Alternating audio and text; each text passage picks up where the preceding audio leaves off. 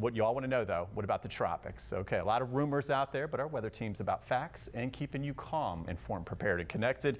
We have a wave out in the open Atlantic. Yes, a 50-50 shot of developing, and likely it will as it moves toward the uh, Windward Islands, toward the Dominican Republic. But let's put this in perspective. That's what we do. So you see the big circle, there's our tropical wave still not the most organized thing. And then at the same time, what we have not had over the last couple of weeks with Helene and Milton is strong cold fronts coming our way. Not one, but two fronts, and these will act to block all of this tropical activity. So still busy. You see circles on the map to the south, but they're staying to the south and staying to the east. In fact, that tropical wave crossing across the Atlantic now will tend to push off to the north and east, something we have not seen. So it's the dry air uh, that's coming down with these big ridges of high pressure that's keeping the tropics and the impact zone much farther south. So we see the bright reds and purples. Remember, this was over us the last couple weeks.